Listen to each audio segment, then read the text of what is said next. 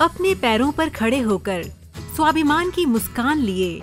ये आदिवासी महिलाएँ कोई आम महिलाएँ नहीं, बल्कि मध्य प्रदेश की वे तेजस्विनी महिलाएँ हैं, जो अपनी मेहनत एवं कर्मठता से दूसरी महिलाओं के लिए सफलता का उदाहरण बनी हैं और इनके इस सफ़र में इनका हम सफ़र बनकर हर कदम पर साथ निभा रहा है। मध्य प्रदेश महिला एवं वित्त विकास निगम का आईफेड सहायतित कार्यक्रम तेजस्विनी।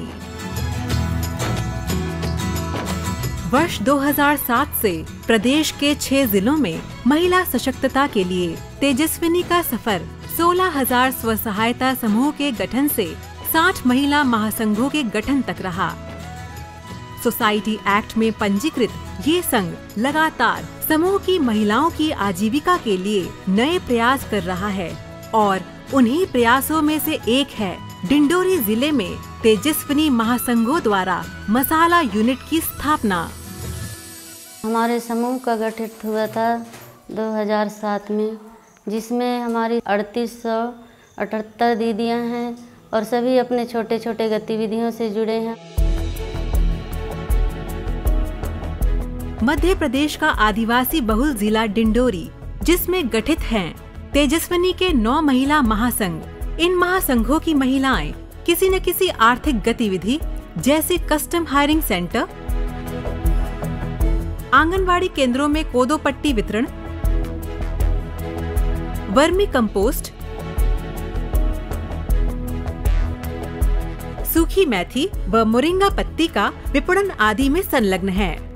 इन महिलाओं की लगन और मेहनत को देखते हुए जिला प्रशासन द्वारा अब ज़िले के आदिवासी छात्रावासों में मसाला व सब्ज़ी सप्लाई करने का कार्य भी इनको सौंपा गया।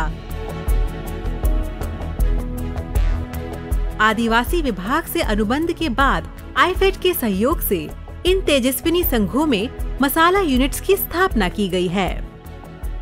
हमारे संघ के द्वारा से हमारी दीदियों को खेती करा रहे हैं, दस दीदियाँ।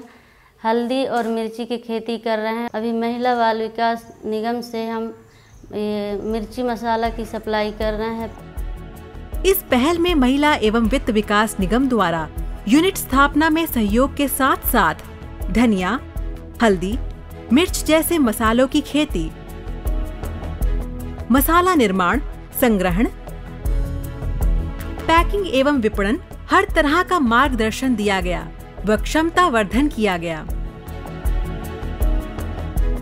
आज इनके द्वारा निर्मित मसालों का ज़िले में संचालित सभी छात्रावासों एवं खुले बाज़ार में विक्रय किया जा रहा है।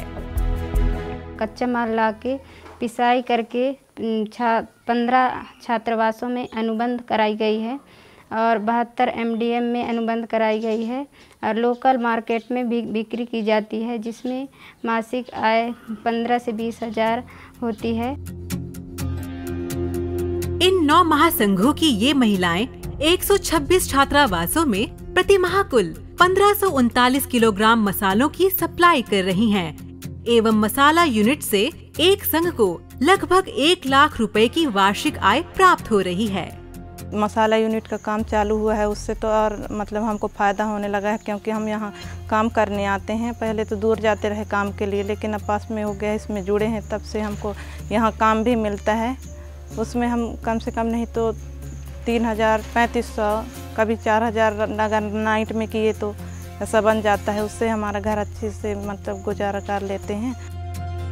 प्रदेश सरकार, जिला प्रशासन व आईफेड की कोशिशों से डिंडोरी ज़िले की ये आदिवासी तेजस्विनी महिलाएँ सही मायनों में आर्थिक सशक्तिकरण की मिसाल बन रही हैं। इन महिलाओं की इस कामयाब कोशिश को देखते हुए इनके लिए बस यही कहा जा सकता है।